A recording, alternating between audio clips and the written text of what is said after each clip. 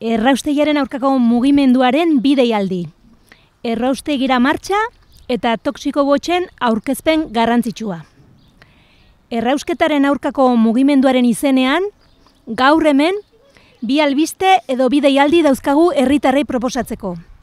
Alde batetik, Gipuzkoako herritarrei dei egiten diegu, Zubietako erraustegiaren aurrean gure protesta azaltzera maiatzaren emezortzian. Lasarteko okendo plazatik abiatuta, goizeko amaiketan, Zubietako erraustegiraino oinezko martxa batean mobilizatuko gara. Agintariai esigitzeko geldi dezatela erraustegia. Ez dezatela gehiago ondakinik erre. Ez Zubietan, ez Ainorgan, ez Bergaran eta ez Inon. Protesta hau abesten dute Donostia bizirik, eguzki eta ekologistak martxan elkarteek. Herritar guztiok zaudete gonbidatuta. Beste aldetik, jakinaraziten dizuegu, urteotan Zubietako erraustegiak sortutako kutsaduraren jarraipena egin duten adituak gure artean izango ditugula. Azken bost urteotan egin dituzten analizien emaitzak eskainiko dituzte toksiko botxeko Abel Arkenbot eta Kirsten Bowmanek. Maiatzaren hogeita iruan, herritar guztio irekitako aurkezpena egingo dute Hernaniko Sandiusterrin eta maiatzaren hogeita zazpian, beste aurkezpen tekniko zehatzago bat, usurbilgo zutegi aretoan. Gaia xeekiago aztertu eta eztabaidatu nahi duten aditu, teknikari, gizarte mugimendu eta autetxien aurrean. Toxiko botxek, bost urtez segidan egin die jarraipena erraustegiaren kutsatzailei. Urtero bilduz, laginak inguruko uretan erreketako sedimentuetan, lurretan, goroldiotan eta zenbait lendare hautatutan. Eta baita ere inguruan zenbait familiak autokontsumorako dauzkaten oilategietako arrautzetan. Horiek analizatu dituzte, ikusteko ea baduten kutsatzaileon arrastorik. Metalastunak, beruna, kobrea, zinka, kromoa, merkurioa, dioksinak, PCBak eta PIFASak. Azken kutsatzaile hauek, kutsatzaile eternoak ere deitzen dituztenak, gaur egun aktualitatean daude. Horien debekua eta kontrola legez arautu nahian ari direlako Europa osoan. Toxiko botxek jada aurreratu digunez, Zubietako horraustegiaren inguruan bildutako laginetan kutsaduraren igoera kezkagarria aurkitu da. Landareetan igoera nabarmentak nabarmenak ikusten dira dioksinetan, PCB-tan eta PIFASetan. Adibidez, gorostien ostoetan ikusten da dioksinak eta PCB-ak bikoiztu egin direla. Goroldiotan ere, dioksina eta PCB-en igoera oso handiak ikusi dira. Lurpeko uretan metal astunen aztarnak beruna, zinka, kobrea biderkatu egin dira.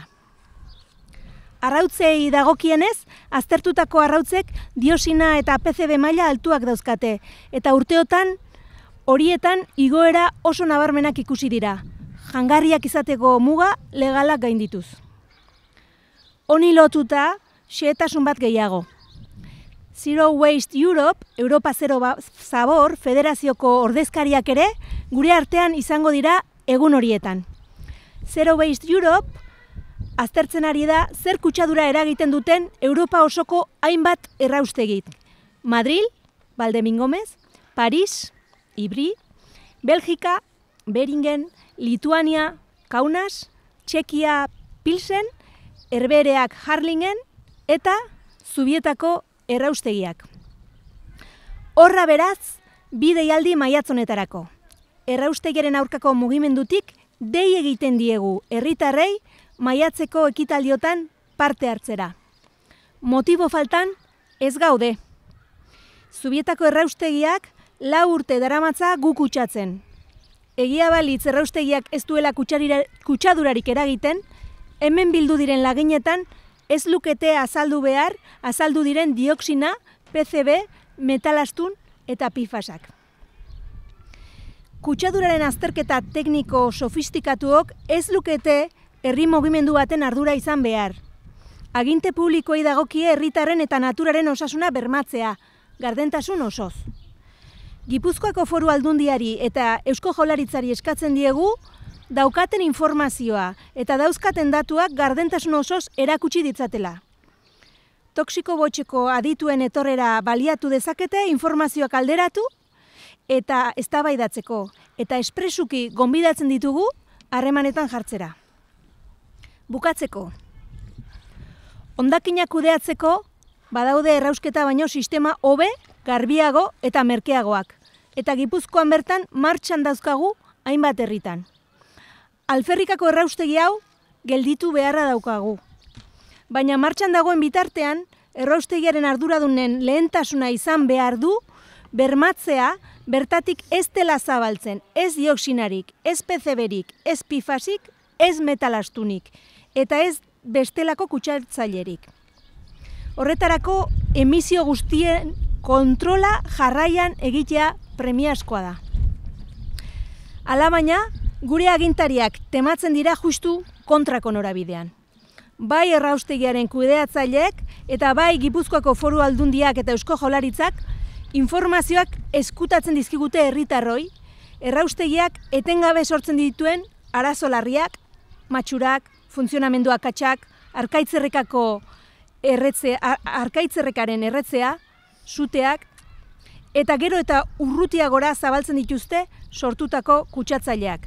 Nafarroako hartasoara legez kontra ondakinak eramatean erakutsi duten moduan. Horregati daen garrantzitsua herritarron mobilizazioa. Esan bezala, maiatzaren emezortzian gure protesta eramango dugu martxa batekin erraustegiaren atariraino.